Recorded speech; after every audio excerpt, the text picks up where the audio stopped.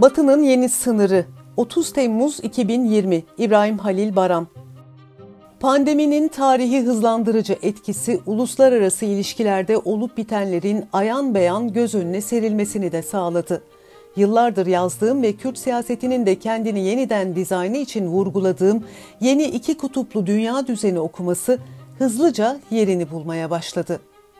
Avrupa'daki kimlik krizi derinleşip Orta Doğu yeniden istikrarsız bir hal alırken dünya, Amerika ve Çin'in ters uçlarda yer alarak öncülük edeceği postmodern bir soğuk savaşa doğru tüm hızıyla ilerliyor.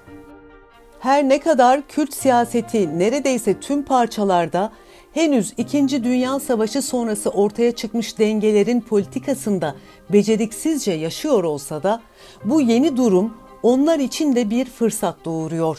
Bu fırsat ne yazık ki Kürtlerin askeri, siyasal yahut diplomatik herhangi bir başarısına dayanmıyor. Bu Kürdistan'ın jeopolitiğinin onlara bahşettiği bir durum. Batı özelinde NATO'daki çalkantılı sürecin bir ifadesi de şu olsa gerektir. Batı'nın önceki güney sınırlarını Türkiye'nin sınırlarının belirlediğini biliyoruz. Fakat artık bu sınırın Kürdistan'ın tüm sınırlarını da kapsayacak olması kaçınılmazdır. Yani Kürdistan hiç değilse Kasrı Şirin'le belirlenmiş sınırın batısında kalan Kürdistan toprakları artık NATO'nun güney sınırının belirleyenidir ve bu sınır aynı zamanda Çin'in Avrupa'ya açılımının bloke edileceği düşünülen hatta da tekabül etmektedir. Önceki yüzyılda boğazlar olarak belirlenmiş ve Türklere teslim edilmiş olan Doğu-Batı arasındaki güç hattının sınırı iki kutuplu yeni dünyada bizim ülkemize doğru genişlemiştir. Ve fakat bu sınırların denetiminin nasıl sağlanacağı önümüzdeki günlerde ortaya çıkması muhtemel karmaşaların da asıl sebebini oluşturacaktır. Kürtlerin ve Kürdistan'ın jeopolitiklerinin getirdiği bu durumu kullanmalarının akamete uğratılması elbette işgalci güçler için politik bir gerekliliktir.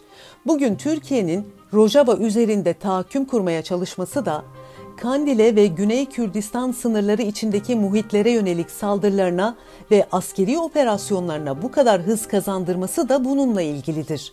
Ama daha önemlisi son yıllarda ülkemizin tüm parçalarında artan yıkımın önlenemez yükselişidir. Engellenemeyen jeopolitik gerçeklik karşısında Kürdistan'ı zayıf bırakma, altyapısını göçertme ve demografik değişikliklerle ülkemizi Kürtsüzleştirme politikaları olanca hızıyla uygulanmaktadır. Fakat dikkatlerin çekilmesi gereken nokta hiç kimsenin Kürdistan'ın jeopolitik öneminin düşürülmesine yönelik bir şey yapamayacağına dair gerçekliktir. Çünkü tektonik gücün sınır hattı doğu-batı eksenli bütün ihtimallerde Kürdistan'dan geçmek zorundadır.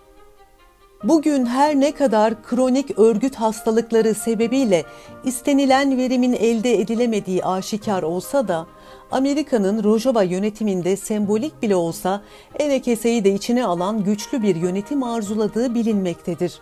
Fakat Sovyetik, Stalinist, partici mantığın kolay kolay değişip dönüşmediği tekrar tekrar tecrübe ediliyor ve her geçen saniye Kürtlerin zararhanesine yazılıyor.''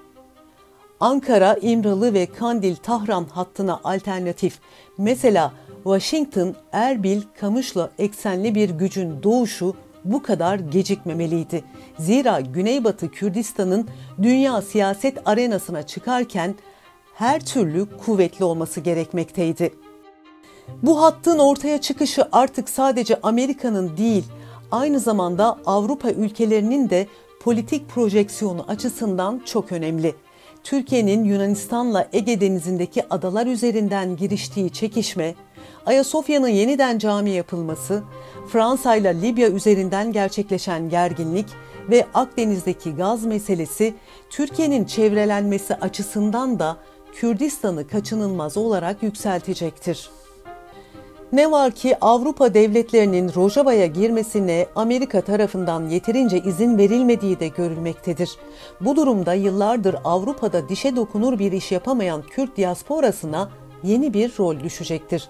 Avrupa'da yaşayan Kürtlerin iktisadi, sosyal ve kültürel ve kalkınma projeleri geliştirerek Kürdistan ve yaşadıkları ülkeler arasında bir köprü kurma ve Kürtlerin elini güçlendirme zamanı gelmiştir. Amerika'nın veya Rojava'daki yönetimin de böylesi bir desteğe olumlu yaklaşacağı gözden kaçmamalıdır.